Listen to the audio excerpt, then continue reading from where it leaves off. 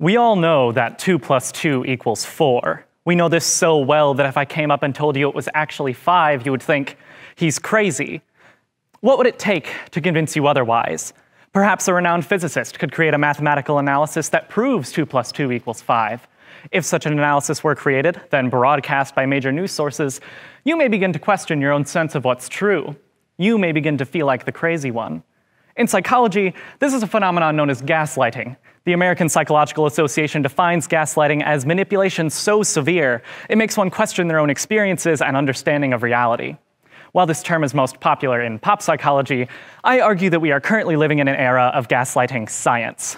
Whether it is climate change denial, allegations of mass voter fraud, or COVID skepticism, the presence of pseudoscience and irrational beliefs are evident and actively lead to unnecessary suffering and death.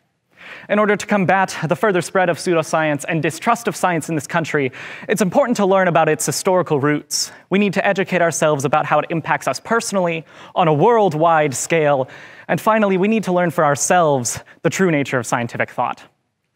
While several industries have played their hands in public manipulation, such as cigarette companies fighting Surgeon General's warnings, today let's highlight Exxon and the larger stakes of unchecked climate change. Exxon actually funded several studies indicating a relationship between climate change and our widespread burning of coal, oil, and gas. This, these studies were obviously threats to their existence as a company and industry, so once they saw the scientific consensus piling up, they began to take action. The company's goal was not to disprove their own findings, rather, to discredit scientific information. Exxon's CEO at the time, Lee Raymond, said at the 1997 World Petroleum Congress the case for so called global warming is far from airtight. There's a lot we really don't know about how climate will change in the 21st century and beyond. So before we make choices about global climate policies, we need an open debate on the science, an analysis of the risks, and a careful consideration of the costs and benefits.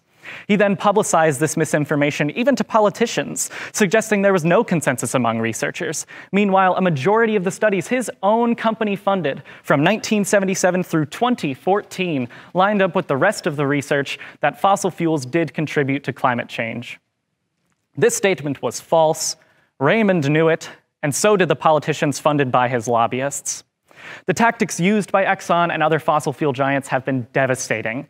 The combination of their public statements and financial endorsements of politicians add up to over $5 billion since the year 2000 and have decreased public belief in climate change.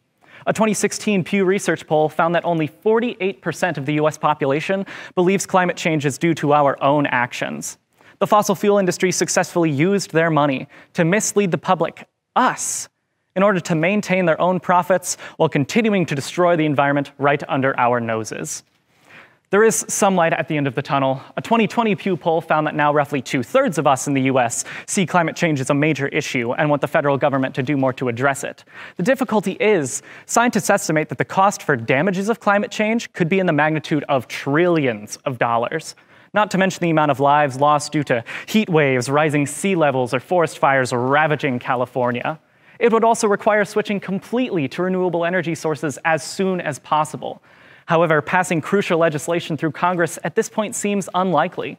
Due to fossil fuel companies' continued use of misinformation and lobby money with politicians, we continue to be divided on the facts. The dangers of science denial have become especially clear in the midst of the pandemic. A 30 year old Texas man attended a COVID party and said to his nurse, I think I made a mistake. I thought this was a hoax, but it's not. He died days later. The fact is, we in the United States have the greatest number of confirmed COVID cases in the world, even over countries with three times our population. This is no coincidence. The constant efforts to gaslight science, consciously used by corporations and political leaders, have made truth something that can be changed. And we now face nearly 510,000 dead Americans, a number that rises as I speak to you today. There's perhaps no better example of the dangers of misinformation than the attack on our Capitol on January 6th this year. You've all seen plenty of images and videos of the group of several thousand breaking into our highest political building in an attempt to change the results of our election. Here's just one.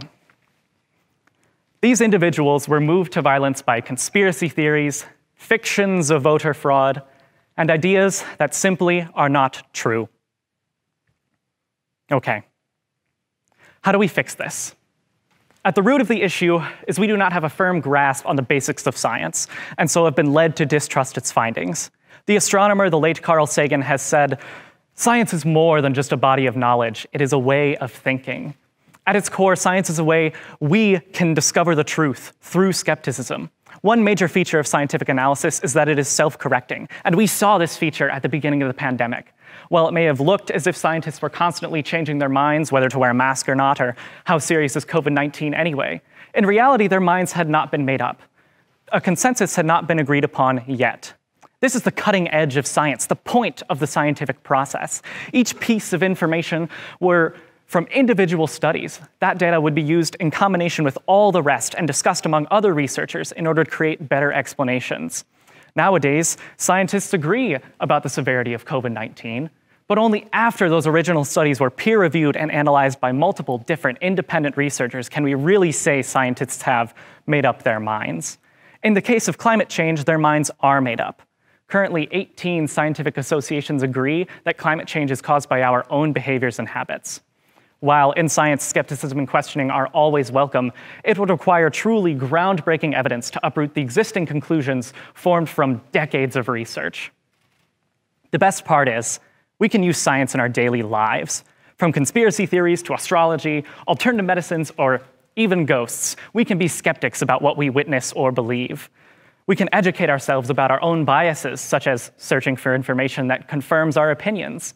What we need to do is compare our experiences with others and brainstorm the many possible explanations for what occurs in our world instead of accepting the first one that comes to mind. And most importantly, we can learn to be patient, realizing that science is not as easy as we would like. It is a grueling process of testing, retesting, and peer review that takes time, miscalculations, and corrections. But after all that, its conclusions can be trusted. We must accept that science's findings are not immediate, not stumbled upon by chance, and not accepted on a whim. And we owe it to ourselves as human beings. What we saw on January 6th was only a glimpse of what we may yet become.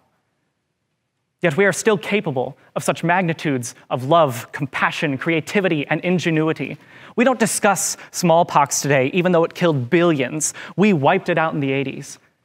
We've saved billions more through modern medicine, vaccines, sophisticated surgeries, and medications of all kinds. The progress we have made through science is astounding, and we can look out to a limitless future, but we need to start now. We are at a turning point for the human race. We face either all of the possibilities of science or a new dark age of superstition and suffering, as with COVID. This disease is strangling the US. We've seen some of what climate change can do. The full force is just on the horizon. Yet we can't even agree that 2 plus 2 equals 4.